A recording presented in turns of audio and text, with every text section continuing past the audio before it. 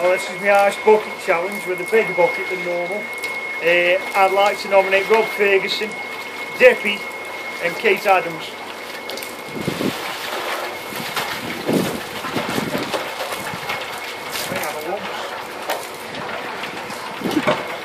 Go for it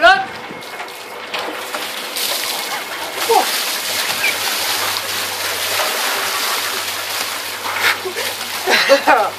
didn't tell me about. That's refreshing, to say the least. It's all out. Yeah.